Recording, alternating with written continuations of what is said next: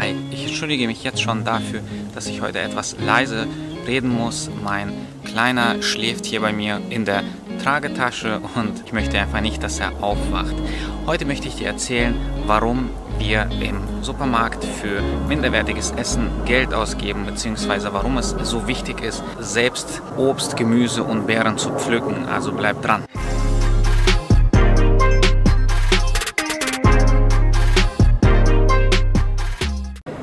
Pflücke mir oft auf dem Weg zur Arbeit zum Beispiel Beeren oder eben das, was gerade momentan saisonal wächst.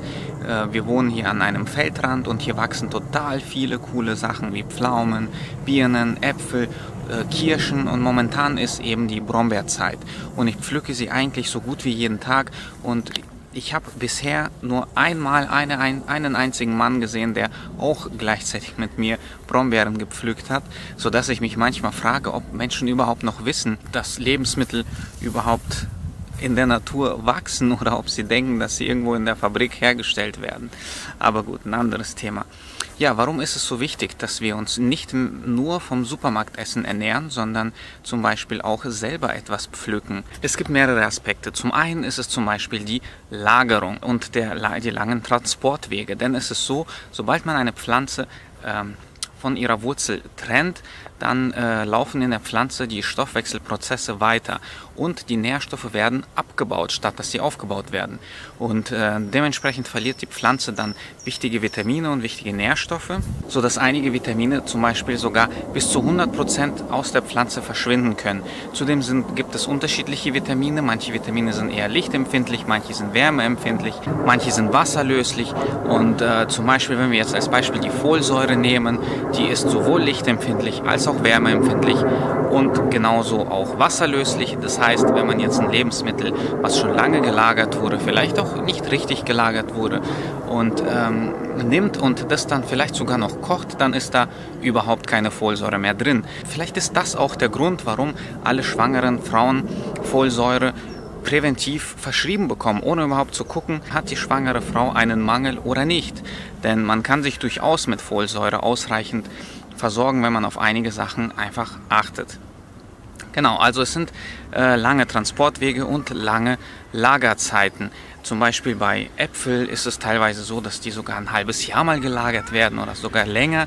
Oder zum Beispiel bei ähm, exotischen Früchten, zum, die dann unreif geerntet werden und dann erst äh, im Flugzeug oder im Schiff nachreifen. Das ist auf jeden Fall ein wichtiger Punkt, denn so bekommen wir nicht ausreichend Nährstoffe, Mineralstoffe, Vitalstoffe, sekundäre Pflanzenstoffe, Vitamine ähm, aus der Nahrung, wie wir sie eigentlich bekommen würden, wenn wir die Lebensmittel frisch essen würden und saisonal, regional. Noch ein wichtiger Punkt ist die Kultivierung der Pflanzen.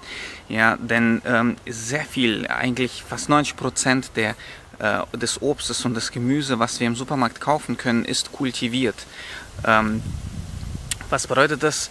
Äh, das wurde für uns auf unsere Bedürfnisse angepasst und es wurde so gezüchtet. Ja? Zum Beispiel ähm, auf, de, auf eine für uns angenehme Größe, es wurde für uns auf einen angenehmen Geschmack gebracht, zum Beispiel auf Zucker überzüchtet, wie es bei einigen ähm, Obstsorten so ist. Um, die Bitterstoffe wurden rausgezüchtet und das ist eben bei wild wachsenden Pflanzen nicht der Fall. Zum Beispiel, wenn wir jetzt eine, nehmen wir mal jetzt eine Heidelbeere, wir vergleichen hier eine Kulturheidelbeere mit einer Waldheidelbeere, da sieht man, dass die Kulturheidelbeere nur noch die Hälfte der Antioxidantien hat und dadurch deutlich schlechter abschneidet. Wenn wir uns jetzt Manganwerte angucken, wir haben hier auf 140 Gramm äh, verglichen 0,2 bei der Kulturheidelbeere und 4,0 äh, Milligramm bei der Waldheidelbeere. Und das äh, Beispiel ist nur stellvertretend für auch andere Beeren, Obst- und Gemüsearten. Dann kommt natürlich noch hinzu, dass bei kultivierten oder von Menschen gezüchteten Sorten oder auch einfach von Menschen gepflanzten Obst und Gemüse der, der Boden nicht so optimal genutzt wird. Äh, das bedeutet, äh, die Böden sind normalerweise ausgelaugt. Das, beim Bio-Obst und Gemüse ist es nochmal einen Ticken besser. Aber es ist trotzdem so, dass dann nicht unbedingt die besten Düngermittel verwendet werden, wodurch äh, das der Pflanze nochmal schadet. Wenn wir Glück haben, ist die Pflanze überhaupt noch auf der Erde aufgewachsen, denn heutzutage ist es leider so, dass einige äh, Arten sogar auf irgendwelchen Pappkartons gezüchtet werden und da lautet äh, das Motto, genauso wie bei uns Menschen, du bist, was du isst, denn was im Boden nicht ist, kann auch nicht in der Pflanze landen. Das heißt, das, was wir im Supermarkt kaufen können, das sind eigentlich leere Pflanzen sozusagen. Das Mm, die äh, können uns nicht ausreichend mit Nährstoffen versorgen, die wir aber für unsere Stoffwechselprozesse benötigen. Und wenn wir jetzt zum Beispiel so eine Beere pflücken, ja, da sind sogar noch Mikroorganismen drauf, wenn wir sie jetzt nicht akribisch abwaschen, die sogar B12 bilden. Das heißt, es ist ja so ein äh, Argument gegen vegane Ernährung. Ja, wir können uns nicht genügend mit B12 versorgen, wenn wir uns vegan ernähren. Ja, können wir nicht, wenn wir abgepacktes Zeug, abgewaschenes Zeug aus dem Supermarkt kaufen. Dann funktioniert das nicht. So kann auch Rohkost nicht funktionieren, wenn wir nur Sachen aus dem Supermarkt kaufen. Entweder man muss selbst anbauen, auf dem Humusboden, wo noch alles drin ist. Das kann uns nähren. Aber wenn wir nur Sachen aus dem Supermarkt kaufen und verwenden, dann reicht Rohkost für uns leider nicht aus. Ja, obwohl es schon die nährstoffreichste Ernährung ist, reicht uns das trotzdem dann nie, noch nicht aus, um unsere Potenziale auszuschöpfen. Ja, wie, wie war das denn früher bei Menschen? Es gab zum Beispiel in der Zeit von äh, Jägern und Sammlern, es wurde ja nicht jeden Tag gejagt. Oder wenn es jeden Tag gejagt wurde, dann hat man nicht jeden Tag was gefangen.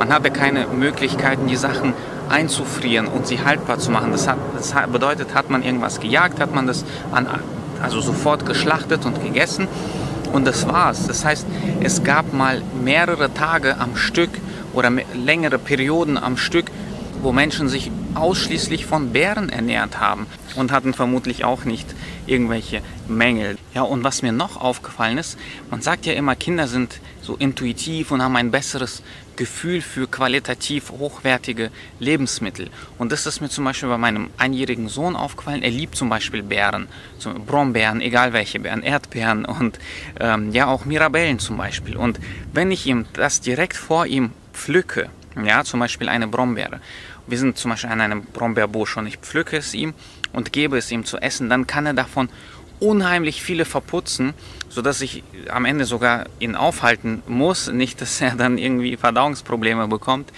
Ähm, aber wenn wir das vom gleichen Busch die Brombeeren pflücken und ich sie dann in eine Dose tue und sie ihm zu Hause anbiete, dann ist es schon so, dass er dann nicht mehr so viele isst und zwar deutlich weniger isst. Dann probiert er manchmal sogar nur so eins, zwei und dann möchte er sie nicht mehr. Dann habe ich zum Beispiel noch gelesen, dass Pflanzen sich entsprechend an ihre Umgebung anpassen. Das heißt, sie ähm, bilden ihr Nährstoffspektrum so aus, dass sie sich vor den Umwelteinflüssen, die an dem jeweiligen Ort herrschen, schützen. Das heißt, hat man jetzt zum Beispiel hohe ähm, CO2-Werte oder hohe Stickstoffoxidbelastung äh, in diesem Gebiet, so bilden sich, so schützen sich die Pflanzen dementsprechend mit, äh, mit äh, bestimmten Nährstoffen. Und essen wir diese Pflanzen aus diesem Gebiet, dann bekommen wir das natürlich ab und das soll uns dann auch schützen. Eindeutige Belege habe ich dazu nicht gefunden, aber ich kann es mir sehr gut vorstellen. Dann nochmal zu guter Letzt, vollständigkeitshalber etwas aus dem esoterischen Bereich. Ähm, die Pflanzen, die wild wachsen, die suchen sich den Ort selber aus. Ja, das heißt, sie wurden dann nicht hingepflanzt, wo sie vielleicht eigentlich ja, keinen Bock hatten aufzuwachsen, sondern die haben sich den Platz selbst ausgesucht. Die Mutterpflanze hat den Samen abgeworfen und dort ist die Pflanze gewachsen ohne Druck, ohne ja, menschliches äh, Einwirken und es soll auch irgendwelche positiven Effekte auf uns haben. Ja? Ähm, ich bin bei solchen Themen so, dass ich in, das nicht als Fakt darstelle, aber auch nicht sage, dass es nicht stimmt. Ich bin mir sicher, es gibt viel mehr, als wir sehen können, aber man kann es eben nicht hundertprozentig beweisen, aber auch nicht dementieren. Das ist dann jedem selbst überlassen. Und in diesem Sinne, bleibt gesund und bis bald. Thank you.